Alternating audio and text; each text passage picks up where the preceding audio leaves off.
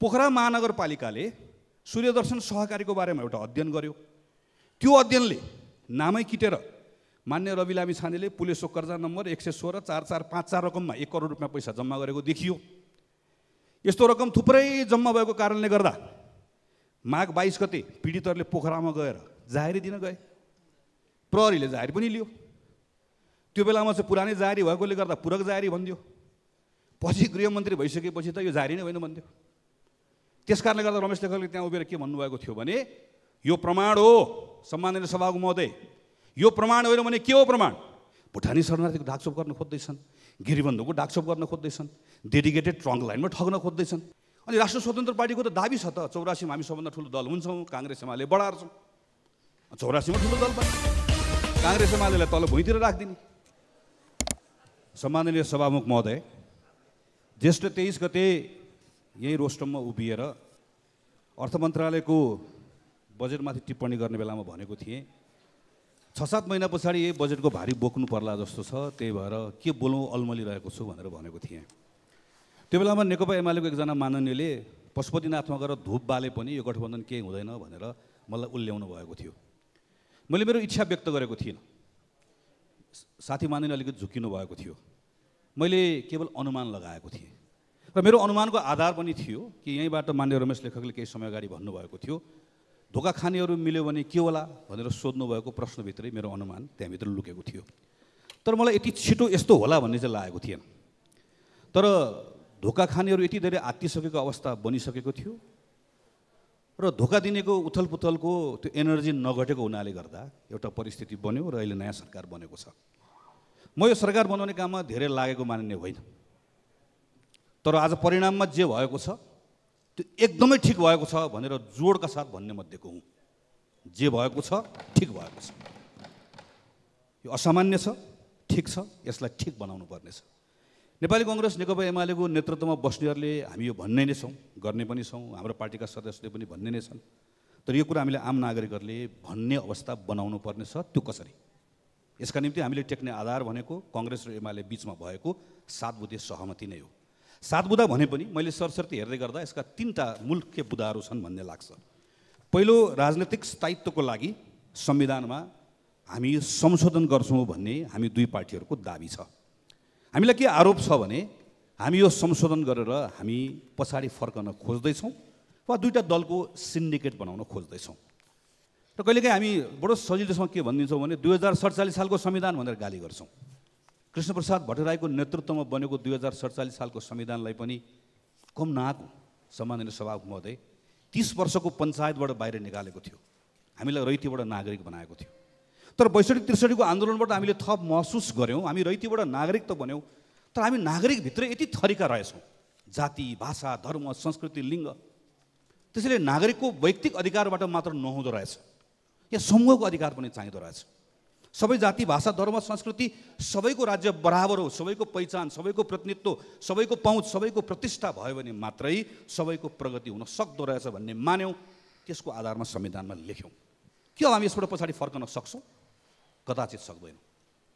के हामी कोही यसबाट पछाडि फर्कन चाहन्छौँ? कदाचित चाहँदैनौँ। यो संसदमा पटक पटक उभिएर के भनिरहेको सुनिरहेको छु भने यहाँ दलित आउनुभएको छ मधेसी आउनुभएको छ थारू आउनुभएको छ महिला आउनुभएको छ यहाँबाट निकाल्न खोजिँदैछ। कसैले निकाल्न सक्छ? यो अधिकार हो। कसैले दिएको हामी सबै मिलेर स्थापित गरेको। कसैले सक्दैन। कसैले घटाउन सक्दैन। कसैले हटाउन सक्दैन। तर सामान्य सभाको मध्ये थप्न चाहिँ मिल्छ कि मिल्दैन? जति भएको छ पुगेको छ। हामीले संसदमा लिएर आउँछौँ तर मन्त्री परिषद बनाउने बेलामा संविधानमा नलेखेको हुनाले गर्दा महिला छुट्याइहाल्छौँ। हामी जुनसुकै पार्टीको होस्। हामी दलित छुट्याइहाल्छौँ। योभन्दा अगाडि पुष्पकमल दाल प्रचण्डले यस्तो लामो गर्जेर यहाँबाट भन्नुभयो। तर उहाँकै मन्त्रीमण्डलमा हामीले दलित छुट्यायौँ। हामी छुट्याइहाल्छौँ। हामी यतिसम्म गर्छौँ कि दुईवटा पार्टी मिलेर गठबन्धन गर्दै गर्दा राष्ट्रपति उपराष्ट्रपतिमा त दुइटै पुरुष बनाइदिन्छौँ। गाउँपालिकाको अध्यक्ष उपाध्यक्ष मौका मिल्नु साथ पुरुष बनाइदिन्छौँ। त्यसमा सम्माननीय सभाको मध्ये यत्रो जम्बो संसदलाई हामी घटाउँ आकार घटाउँ। तर योभन्दा बढी समानुपातिक समावेशी बनाउँ भन्ने छलफल गर्न सक्दैनौँ। हामीले प्रदेशका सरकारहरू यसै गरी राख्ने हो। यसै गरी प्रदेश चलाउने हो। हामी सङ्घीयतालाई योभन्दा अरू थप सुदृढ र प्रभावकारी बनाउने कि नबनाउने? बनाउन मिल्छ कि मिल्दैन? बनाउन मिल्छ। सङ्घीयता योभन्दा राम्रो बनाउने हो। गणतन्त्र योभन्दा राम्रो बनाउने हो। समानुपातिक समावेशी प्रतिनिधित्व योभन्दा बढाउने हो। निर्वाचन प्रणालीका सन्दर्भमा हामी छलफल गर्छौँ। कसै कसैले त्यसै हामी भनिदिन्छौँ। तलको हाउसलाई लोवर हाउसलाई हामी फर्स्ट पास द पोस्ट प्रत्यक्ष निर्वाचित गर्ने अप्पर हाउसलाई हामी कहिलेकाहीँ भनिदिन्छौँ हामी यसलाई समानुपातिक गर्ने। त्यो मिल्छ मिल्दैन। त्यो कसैले चार हुन्छ हुँदैन। हामी तलकै हाउसलाई योभन्दा बढी समावेशी बनाउन सक्छौँ। तर के पनि गर्न सक्छौँ भने एउटा दलले चालिस प्रतिशत हाराहारी मत ल्याउँदै गर्दा पाँच वर्ष एकल सरकार चलाउने गरिकन निर्वाचन प्रणाली मिलाउन पनि सक्छौँ चलाउन पनि सक्छौँ। मिलाउँ। त्यसो भन्दै गर्दा कहिलेकाहीँ के सुन्छौँ म भने ए ठुलो ठुलो दलले ठुलो कुरा गर्ने। यो ठुलो दल सानो दलको परिवेश परिभाषा के हो? चौसठी पैँसठीमा माओवादी सबभन्दा ठुलो दल होइन। अनि राष्ट्र स्वतन्त्र पार्टीको त दाबी छ त चौरासीमा हामी सबभन्दा ठुलो दल हुन्छौँ काङ्ग्रेस एमाले बढार्छौँ। चौरासीमा ठुलो दल बन्ने काङ्ग्रेस एमालेलाई तल भुइँतिर राखिदिने मजाले चलाउने जसले जित्छ त्यसले चलाउने। अनि जसले जित्छ त्यसले चलाउँ भन् भन्दै गर्दाखेरि हामीले समानुपातिक समावेशी योभन्दा अझै बढाएर हामीले मन्त्री परिषददेखि सबैतिर अनिवार्य समानुपातिक समावेशी प्रत्युत हुनुपर्ने व्यवस्था गरेर बहुजातीय बहुभाषिक बहुधार्मिक बहुसांस्कृतिक नेपालको जुन यथार्थता छ त्यसलाई प्रतिबिम्बित हुने राष्ट्रका निम्ति जुन संवैधानिक प्रबन्ध हामीले बनाएका छौँ त्यसलाई चलाएर होइन त्यसलाई हटाएर होइन त्यसलाई अझ मजबुत बनाएर हाम्रा जटिलताहरूको समस्या हाम्रा जटिलताहरूको हाम्रो समस्याको सम्बोधन गर्न सक्दैनौँ सक्छौँ। त्यसैले काङ्ग्रेस एमालेको पहिलो दायित्व यो बहसबाट भाग्ने पनि होइन यो बहसबाट बरालिने पनि होइन। हामी प्रष्ट हुने प्रष्ट बनाउने अरू दलसँग संवाद गर्ने नागरिकसँग पनि संवाद गर्ने हो। दोस्रो विषय भ्रष्टाचार नियन्त्रण गर्ने र सुशासन गर्ने भनेर यहाँभित्र हामीले भनेका छौँ। यो विषयको सन्दर्भमा सम्माननीय सभामुख महोदय यहाँ पनि आरोप छ। आरोप के छ भने यो दुईवटा दलहरू रातारात किन मिलेका हुनु भने यिनीहरू एकअर्काको भ्रष्टाचार ढाकछोप गर्न खोज्दैछन्। भुटानी शरणार्थीको ढाकछोप गर्न खोज्दैछन्। गिरिबन्धुको ढाकछोप गर्न खोज्दैछन्। डेडिकेटेड ट्रङ्क लाइनमा ठग्न खोज्दैछन्। यिनै आरोपहरू हुन्। यसबाट पनि भाग्ने होइन यसलाई पनि प्रष्ट बनाउनुपर्छ। अहिले संसदमा केही विधेयकहरू विचाराधीन छन्। प्रसिद्ध नै राज्य व्यवस्था समितिमा छलफल छ। अख्तियारको छ भ्रष्टाचार सम्बन्धी विधेयकको छ। नेपाली कङ्ग्रेसको हामी सांसदहरूले नै हदम्याद हटाउनुपर्छ भन्ने हाम्रो स्पष्ट प्रस्ताव छ। त्यति मात्र होइन। नीतिगत भ्रष्टाचार भनेको के हो? नीतिगत व्यवस्था के हो? केलाई नीतिगत भन्ने भन्ने बारेमा छुट्टै कानुन बनाउनुपर्छ। कन्फ्लिक्ट अफ इन्ट्रेस्टको छुट्टै कानुन बनाउनुपर्छ यो नेपाली कङ्ग्रेसको माग हो यो अब नेपाली कङ्ग्रेस एमालेको संयुक्त कुरा हुनुपर्दछ। यस पछाडि हाम्रो कामबाट देखाउनुपर्छ। हामीले धेरै बोल्ने होइन। एक्सन स्पिक ला स्पिक्स लाउडर देन वर्ड्स त्यस कारणले गर्दा सम्मानित सभामुख महोदय सरकार भनेर निरन्तरता हुन्छ नि। योभन्दा अघिल्लो सरकारले भुटानी शरणार्थीको विषयको जहाँ टुङ्गाएको छ यो सरकारले प्रष्टसँग भन्नुपर्छ।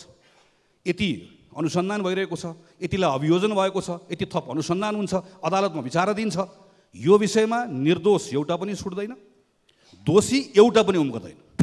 यो विषयमा कहीँ तलमाथि हुँदैन भन्ने कुरा सरकारले आफ्नो व्यवहारबाट आश्वस्त पार्नुपर्छ। गिरिबन्धुको बारेमा विषय उठेको छ। गिरिबन्धुको प्रकरणका सन्दर्भमा अदालतले स्पष्ट आदेश दिएको छ सम्मानित सभामुख माघ चौबिसमा अस्सी सालमा। जुन सरकार आए पनि यो गर्नै पर्छ यो सरकारले पनि गर्नुपर्छ। जे गर्नुपर्छ भनोस् र गरोस्। उसले स्पष्टसँग भन्छ हदबन्दीभन्दा बढी जग्गा देखिएको हुनाले गर्दा गिरिबन्धु टी स्टेटको नाममा जुन जग्गा छ त्यसलाई सरकारको नाममा फिर्ता ल्याऊ। यसै गरिकन ऐनको दुरुप दुरुपयोग भएर ठाउँ ठाउँमा हदबन्दीभन्दा छुट जग्गाको व्यवस्था सुविधा लिएको छ ठिक ढङ्गले प्रयोग गरिएको छैन। त्यो जग्गाहरूको पहिचान गर। देशभरि यसरी दुरुपयोग भएको जग्गा पनि ल्याऊ। यो फिर्ता ल्याउनको लागि भूमि सुधार दुई हजार एक्काइस ऐनको दफा बाह्रमा एउटा व्यवस्था छ। अनुगमन समिति बनाउने हुने व्यवस्था छ। त्यो अनुगमन समिति तुरुन्त बनाऊ। अदालतले यही भन्छ। सरकारले यो विषयका सन्दर्भमा गिरिबन्धु यो हुन्छ गिरिबन्धु त्यो हुन्छ होइन। एक्सन चाहियो। तुरुन्त जग्गा फिर्ता ल्याउनु पऱ्यो त्यो समिति बनाउनु पऱ्यो देशभरि यसरी जसले जग्गा दुरुपयोग गरेको छ उनको जग्गा खोसिनु पऱ्यो जग्गा फिर्ता ल्याउनु पऱ्यो तेस्रो विषय dedicated line trunk dedicated trunk लाइनको बारेमा छ। यो विषय लामो समयदेखि विवादमा छ विवाद छत्ताछुल्ल भएको छ। यसका बारेमा योभन्दा अगाडिका सरकारले एकपछि अर्को दर्जनौ निर्णयहरू गरेको छ। संसदको समितिले निर्णय गरेको छ। सम्मानित अदालत बोलेको छ। र पछिल्लो समयमा हामी नै सम्मिलित भएको सरकारमा प्रचण्डजीले नेतृत्व गर्दै गर्दा दुई हजार अस्सी साल पौषमा लाल आयोग भनेको छ जसलाई दुई हजार एकासी साल वैशाखमा गएर त्यो आयोगको निर्णय कार्यान्वयन गर्ने भनेर भनिएको छ।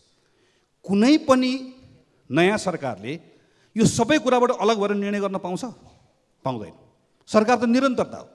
अस्ति भर योभन्दा अगाडि बनाएको सरकारले बनाएको आयोगको प्रतिवेदनलाई टेक्नै पर्छ। अदालतका आदेशलाई टेक्नै पर्छ। संसदीय समितिको निर्देशनलाई टेक्नै पर्छ। कुनै पनि समितिले कुनै पनि आयोगले कसैले पनि गरेको निर्णयमा जसले बिजुली प्रयोग गरेको छ प्रयोग गर्नेको बक्यौता नउठाऊ भनेर कसैले भन्छ? नउठाउन पाइन्छ। एक रुपियाँ पनि छोड्न पाइन्न। एक सुक्का पनि छोड्न पाइन्न। अरबको कुरा होइन यहाँ। एक रुपियाँ पनि छोड्न पाइन्न। जे भनेको छ अक्षर अक्षर त्यसको पालना गर्नुपर्छ। सरकारका निकायहरूलाई पनि निर्देशन दिएको छ। तिमी यो गर तिमी यो गर तिमीले यो गरेनौ तिमीले यो यो गर्नु पर्थ्यो यो सच्याउ भनेको छ। सरकारका निकायले पनि जो जसलाई जे जे हराइएको छ तिनले पनि त्यो गर्नुपर्छ। कसैको लहरले पनि हुँदैन कसैको आदेशले पनि हुँदैन। विधि विधिको शासन भनेको त्यही हो। त्यसैले म सम्मानित सभामुख महोदय मार्फत सरकारलाई भन्न चाहन्छु यो विषयको सन्दर्भमा सरकारले प्रष्ट यहाँ आएर भन्नुपर्छ। कसैमाथि अन्याय पनि हुन दिन्नौ। कसैले बिजुली प्रयोग गरेको छैन भने अन्याय हुन दिन्नौ। कोही मान्छेलाई अप्ठ्यारो पर्न दिन्नौ। ठुलो होस् सानो होस् तर जतिसुकै शक्तिशाली होस् जतिसुकै बलियो होस् जतिसुकै पहुँचवाला होस् तर अनुचित लाभ पनि एक रुपियाँ पनि लिने दिन्नौ। राज्यको कोषमा एक रुपियाँ पनि तलमाथि हुन दिन्नौ भन्ने कुराको ग्यारेन्टी गर्नुपर्छ विश्वास दिलाउनुपर्छ। समाज सभा महोदय यस्तै गरिकन सरकारको निरन्तरताको कुरा गर्दै गर्दा मैले अर्को विषय पनि सम्झनै पर्छ। यतातिर म कहाँ बसेको थिएँ त्यो बेलामा। मेरो पछाडिपट्टि हुनुहुन्थ्यो मान्य रमेश लेखक। त्यो बेलामा प्रमुख सचेतक हुनुहुन्थ्यो। अस्सी साल चैत्र छ गते। उहाँले के भन्नुभएको थियो भने पोखरा महानगरपालिकाले सूर्यदर्शन सहकारीको बारेमा एउटा अध्ययन गर्यो। त्यो अध्ययनले नामै किटेर मान्य रवि लामी छानेले पुलिसको कर्जा नम्बर एक सय सोह्र चार चार पाँच चार रकममा एक करोड रुपियाँ पैसा जम्मा गरेको देखियो। यस्तो रकम थुप्रै जम्मा भएको कारणले गर्दा माघ बाइस गते पीडितहरूले पोखरामा गएर जाहेरी दिन गए। प्रहरीले जाहेरी पनि लियो। त्यो बेलामा चाहिँ पुरानै जारी भएकोले गर्दा पूरक जारी भनिदियो पछि गृहमन्त्री भइसकेपछि त यो जारी नै होइन भनिदियो त्यस कारणले गर्दा रमेश लेखकले त्यहाँ उभिएर के भन्नुभएको थियो भने यो प्रमाण हो सम्माननीय सभाको महोदय। यो प्रमाण होइन भने के हो प्रमाण? यो प्रमाणको आधारमा गृह मन्त्रालयले तत्काल अनुसन्धान गर्नुपर्छ भनेर ऊ त्यहाँ उभिएर बोल्नुभएको थियो। अहिले यतातिर पुग्नु भएको छ। अब सरकार फेरि कुरा फेरिन्छ? फेरिन्न। सम्माननीय सभा महोदय यो सदनमा हामी पनि छौँ। हामी त्यहाँ बस्दा एउटा यहाँ बस्दा एउटा भन्दैनौँ। यता बस्दै गर्दा गिरिबन्धु देख्दै नदेख्ने डेडिकेटेड ट्रङ्क लाइन देख्दै नदेख्ने बसेर सहकारी मजाले ठग्ने उता बसेपछि सबै देख्ने होइन। हामी उता बस्दा पनि त्यही हो यता बस्दा पनि त्यही हो। गिरिबन्धुको पनि जे हो त्यही हुनुपर्छ भुटानीको पनि जे हो त्यही हुनुपर्छ डेडिकेटेड ट्रङ्क लाइनको पनि एक रुपियाँ पनि। सरकार राज्य काहीँ ठगिनुहुन्न सहकारीमा ठगलाई पनि अनुसन्धान गर्नै पर्छ जो जतिसुकै शक्तिशाली होस्। यसरी देखाओस् न सरकारले। म को भन्ने कुरा सरकारले त यसरी प्रमाणित गरेर देखाओस्। त्यसपछि बल्ल हामीहरू ठिक ठाउँमा पुग्छौँ सम्माननीय सभा महोदय। सम्मान्य सभा महोदय तेस्रो विषय भनेको विकास निर्माणसँग जोडिएको छ। विकास निर्माणसँग जोडिएको विषयको सन्दर्भमा यो सरकारले के भन्छ भने यो सहमतिले के भन्छ भने हामी आलो पालो गर्छौँ र आलो पालो गरिसके पछाडि हामीहरूले करिब करिब साढे तिन वर्ष सरकार चलाउँछौँ। र न्यूनतम साझा कार्यक्रम पनि लिएर आउँछौँ। हामी न्यूनतम साझा कार्यक्रम कुरिरहेका छौँ। आलो पालो प्रधानमन्त्रीको आलो पालो गर्ने कुरा सम्माननीय केपी शर्मा ओलीले भनिसक्नुभयो। म दुई वर्षभन्दा एक हप्ता अगाडि छोड्छु। त्यसपछि नेपाली कङ्ग्रेसको सभापतिले सञ्चालन सरकार नेतृत्व गर्नुहुन्छ। यो एउटा प्रसङ्ग छ। अहिले भर्खर सरकार सुरु भएको छ। साढे तिन वर्षको लक्ष्य राख्ने हो। साढे तिन वर्ष राख्दै गर्दा दुई वर्ष नेकपा एमाले नेतृत्व गर्छ डेढ वर्ष कङ्ग्रेसले नेतृत्व गर्छ तर हाम्रो कार्यक्रम साढे तिन वर्ष दिमागमा राखेर हामीले बनाउनुपर्छ। प्रधानमन्त्रीले मेहनत गरिरहेको देखिरहेको छु। खुसी लागेको छ। मन्त्रीजीहरूले सुरुमा अलिअलि खादामाला लाउनु भए तापनि अहिले बिस्तारै बिस्तारै कार्ययोजनाहरू बनाइराख्नु भएको छ। सुरु सुरुमा त्यस्तै हुन्छ। हामीलाई पनि त्यही थियो। तर मेरो अनुभव छ समाज सभा महोदय। यो चौबिस महिनाको लागि मन्त्री हुनुभएको छ। चौबिस महिनाको समय भनेको सानो समय होइन। नौ महिनाको मन्त्री हुँदाको मेरो अनुभव छ। यो समयभित्र धेरै गर्न सकिन्छ। त्यसैले म सम्माननीय प्रधानमन्त्रीलाई त अरू कुनै समयमा उहाँ भएकै बेलामा भन्नुला। सम्माननीय सभामुख महोदय मार्फत सरकारमा रहनुभएको मान्य मन्त्रीजीलाई भन्न चाहन्छु। एक महिना सकियो हामी सबैको शुभेच्छा छ हाम्रो साथ छ हामी आतुर छौँ तपाईँहरूलाई मद्दत गर्नको लागि। हामी कामको आधारमा प्रशंसा गर्न चाहन्छौँ तर हामी प्रश्न पनि गर्छौँ। गलत गर्नु भने हामी आलोचना पनि गर्छौँ। यो चौबिस महिनाको लागि एक महिना गयो तयारी गर्नुभयो। प्रत्येक मन्त्रालयले सेक्टोरल हिसाबले आफ्नो मन्त्रालयको जिम्मा भएको ठाउँमा एक महिना चौबिस महिनामा के गर्ने भन्ने सोचाइ बनाउनै पर्छ। नभए सानसानो काम मात्रै हुन्छ। त्यो सोचाइ बनाउँदै गर्दाखेरि त्यो चौबिस महिनाको भित्रको लागि प्रत्येक महिनाभित्र के प्राप्त गरिसक्ने भन्ने योजना बनाउनै पर्छ पक्कै गर्नुभएकै होला। तर मेरो सुझाव के छ मान्य मन्त्रीज्यूहरूलाई भने प्रत्येक मन्त्रालयसँग जोडिएको केही हेर्दा सामान्य तर महत्त्वपूर्ण विषयहरू छन्। क्विक विनहरू तुरुन्त प्राप्त गर्न सकिने। त्यसले के गर्छ त्यसले नागरिकहरूलाई नयाँ सरकार आएको आवास पनि दिलाउँछ। मन्त्रीहरूलाई पनि त्यसको विश्वास पनि जगाउँछ। जस्तो उदाहरणको लागि पर्यटन मन्त्रीजी आइसकेपछि दुर्भाग्य दुईवटा ठुल्ठुलो दुर्घटनाहरू भए। हामीले यति धेरै मानिसहरू गुमाउनु पऱ्यो जसको बारेमा संसदमा व्यापक चर्चा भएको छ। र मैले थाहा पाएसम्म मान्य पर्यटन मन्त्री यसमा अत्यन्त गम्भीर हुनुहुन्छ। र हिजोकै मन्त्री परिषदमा मैले थाहा छैन यसको पछि निश्चित खबर आउला। तर सुनेसम्म प्राधिकरणलाई अलग गर्ने जुन वर्षौँदेखिको गर्नुपर्ने थातिरहेको काम थियो त्यसलाई उहाँले अगाडि बढाइसक्नु भएको छ। यी लगायतका हवाई सुरक्षाको बारेमा व्यापक काम गर्दै हुनुहुन्छ। तर म केही दिन अगाडि कोरिया गएको थिएँ सम्माननीय सभामा थिएँ यहाँबाट कोरिया जाने मानिसहरूले अहिले जति भाडा तिरेका छन् त्यति भाडा कहीँ पनि तिर्नु पर्दैन। छिमेको भारत कहीँ कहीँ पाकिस्तान कहीँबाट तिर्नु पर्दैन। नेपाल एयरलाइन्सको फ्लाइट मात्र यहाँबाट कोरिया लान सकियो भने जुन फ्लाइट लिएर जानको लागि मन्त्रीजी अलिकति तात्नुभयो भने भइहाल्छ। अहिले इपिएसको टेन्डर पनि खोलेको छ त्यहाँ टेन्डरमा पनि हाल्ने अलिकति थोरै नागरिक उड्डयन प्राधिकरणलाई थोरै चलाउनु भयो भने भइहाल्छ। हजारौँ नेपालीहरूले नेपाल एयरलाइन्सको फ्लाइटबाट सस्तोमा कोरिया जान पाउँछन्। हेर्नुहोस् त मान्य मन्त्रीजीले एक घन्टा यसमा ध्यान दिनुभयो भने एक महिनामा एउटा काम एक हप्तामा भइहाल्यो। यस्ता सानसाना कामहरू छन्। मान्य परराष्ट्र मन्त्रीजीले यो बेलामा द्विपक्षीय सम्बन्धको कुरा छ भारत चिनसँगको बिआरआईको कुरा छ। भर्खर बङ्गलादेशमा त्यत्रो केही अप्रिय घटनाहरू भएको छ केही परिवर्तनहरू भएको छ। हामी सरकारको धारणाको कुराकानी गरिरहेका छौँ। हामी पार्टीको तर्फबाट निर्णय गरेर त्यहाँ रहेका हिन्दू अल्पसङ्ख्यक लगायतका बुद्धिस्टहरूको जीवन रक्षाको लागि हाम्रो सरकारले पनि थप पहल गरोस् भनेर मागिरहेका छौँ। यी विषयहरू छँदैछ यी विषयहरूमा हामीले उहाँको काम हेर्नै छ प्रतीक्षा गरिरहेका छौँ। तर केही समय अगाडि म कतार गएको थिएँ। समाधान सभाको महोदय तिन साढे तिन लाख व्यक्ति भएको कतारमा सामान्य परराष्ट्र मन्त्रालयले पासपोर्ट बनाउने ठाउँमा सिस्टममा थोरै मात्र बदलाव ल्याइदियो भने महिनौसम्म पासपोर्टको लागि हाम्रो साथीहरू कुर्नु पर्दैन। म केही समय अगाडि अमेरिका गएको थिएँ। अमेरिकामा क्यालिफोर्नियामा हजारौँ नेपालीहरू छन्। छ घन्टाको फ्लाइट लिएर डलर तिरेर गएर वासिङटन डिसी जानुपर्छ।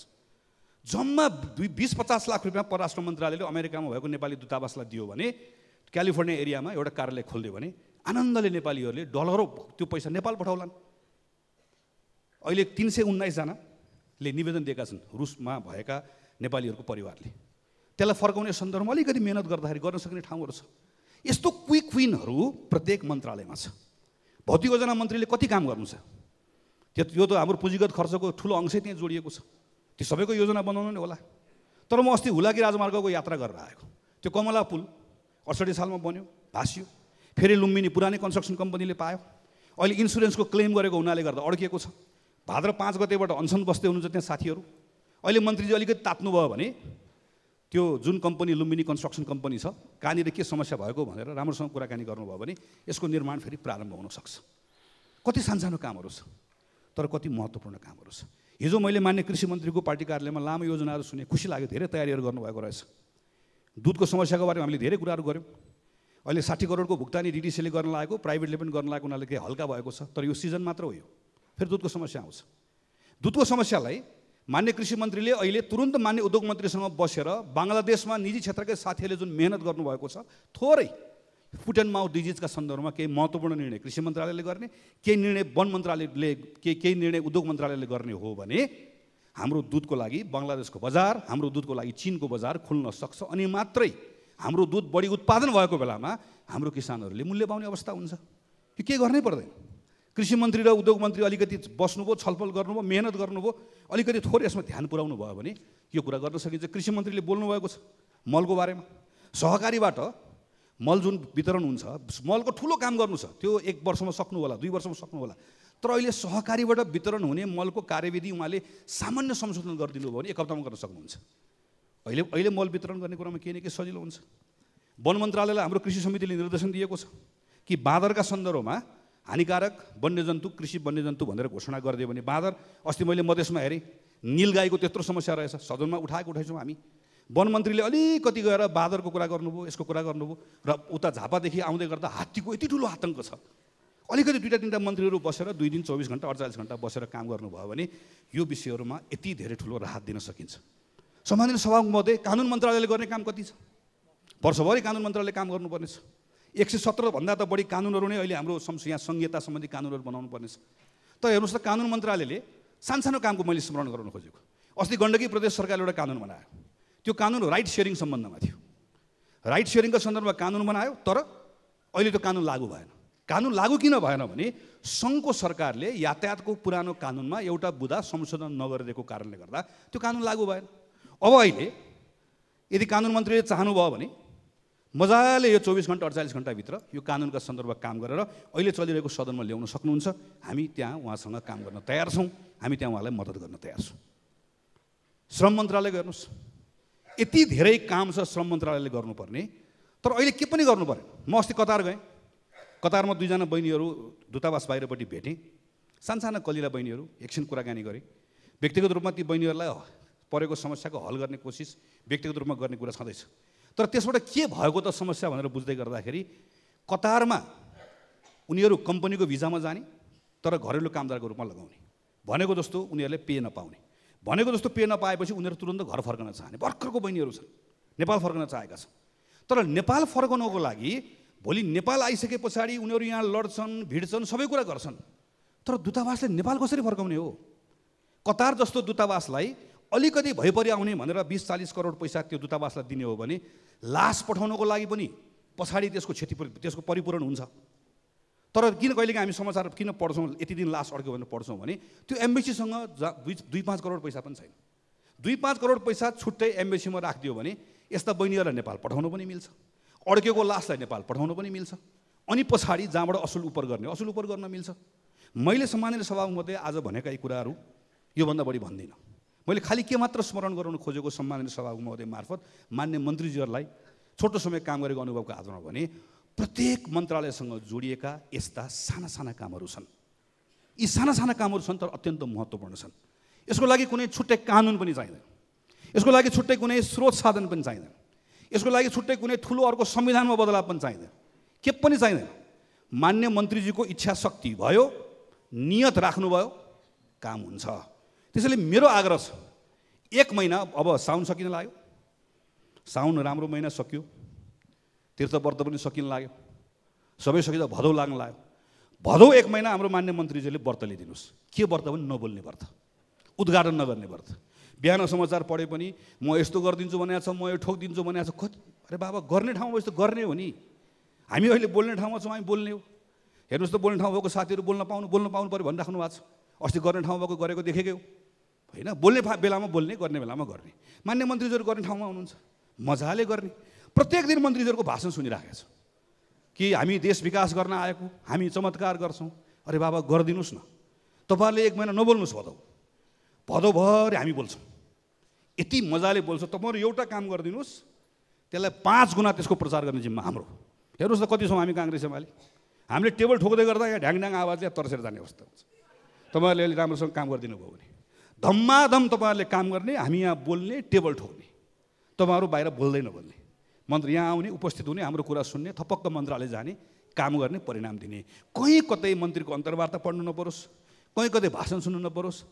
र सम्माननीय प्रधानमन्त्रीको पनि म ठाउँ ठाउँमा गएर म भ्रष्टाचार पनि गर्दिनँ म गर्न पनि दिन्न भन्ने होइन। त्यो प्रधानमन्त्रीले भनिराख्नै पर्दैन प्रधानमन्त्रीले गर्नै पाउँदैन। त्यसैले भन्ने पायो। तर भन्ने कुरा के हो भने गर्ने कुरा के हो भने गर्ने कुरा भनेको अहिले संसदमा कानुन छ त्यो कानुनहरूमा मद्दत गर्ने। अहिले अघि मैले जुन प्रकरणको बारेमा कुरा गरेँ ती विषयहरूमा सही ढङ्गले ती विषयलाई निरूपण गर्ने यो काम सम्माननीय प्रधानमन्त्रीजीबाट होस् भन्ने म आग्रह गर्न चाहन्छु। हामी यहाँ सत्तापक्षका थुप्रै साथीहरू छौँ जो अहिले प्रधानमन्त्री केपी शर्मा ओलीले नेतृत्व गर्नुभएको थुप्रै कि हामी सबै छौँ। केपी शर्मा ओलीले नेतृत्व गर्नुभएको सरकार कङ्ग्रेस र एमाले मिलेर बनेको सरकार छ। एउटा जोखिम पनि हो यो। अनयुजुअल छ। यसबाट अघि भनेको जस्तो यसले डेलिभरी गर्नै पर्छ। यसले आफूले गरेको बाचाहरू पुरा गर्नै पर्छ। र त्यो बाचाहरू पुरा गर्ने कुराको सन्दर्भमा हृदयबाट भित्रैबाट यसलाई मद्दत गर्न चाहन्छु। हाम्रो मद्दत गर्न चाहेको हाम्रा चाहनाहरूलाई सरकारले पनि त्यही ढङ्गले बुझोस्। तर सँगसँगै don't take us for granted. मैले जो प्रचण्ड प्रधानमन्त्री हुँदै गर्दा पनि यहाँ उभिएर त्यही कुरा भनेको थिएँ कि तपाईँलाई भोट हालेको हुँ तपाईँको पक्षको सांसद हुँ तर यहाँ बसेर टाउको गनेर सबै हाम्रा सांसद हुन् हामीले जे भने पनि यी थपडी बजाउँछन् भनेर चाहिँ त्यसरी नलियोस्। हामी विवेक भएका सांसदहरू छौँ हामी सबैजना। हामी जिम्मेवारी लिएर आएका छौँ हामी हाम्रो पार्टीको निर्णयसँग बाँधिएका छौँ हामी यो सरकारको को हामी यहाँभित्र सहभागी छौँ हाम्रो सरकार हो यो यसलाई सफल बनाउन चाहन्छौँ। हामी संसदभित्र बसेर अहोरात्र काम गर्न चाहन्छौँ सम्माननीय सभा महोदय। कहिलेदेखि सदन रोक्ने हो सदन रोकिसके पछाडि बिलहरू छ। हामी केही समय त्यो बिलमा टाइम दिन चाहन्छौँ। तिन चार महिना हाउसभित्र हाम्रोभित्र भएका बिलहरू टुङ्ग्याएर यो पार्लिमेन्ट सबैभन्दा बढी बनाउनु पर्ने कानुनहरू बनाएको यो सरकारको बेलामा यो संसदको बेलामा बनाएको अवस्था हामी बनाउन चाहन्छौँ। भोलि टिआरसी आउँदैछ। म यसमा पनि केही कमी कमजोरीहरू छन्। ती कुराहरू छलफल गरौँ र सच्याउँला तर लार्जली अहिले नयाँ सरकार बनिसके पछाडि यत्रो ठुलो उपलब्धि भएको छ। यो विषयहरूको सन्दर्भमा यो यो यो बाटो अगाडि बढ्ने क्रममा हामी सम्पूर्ण रूपमा साथ दिन चाहन्छौँ।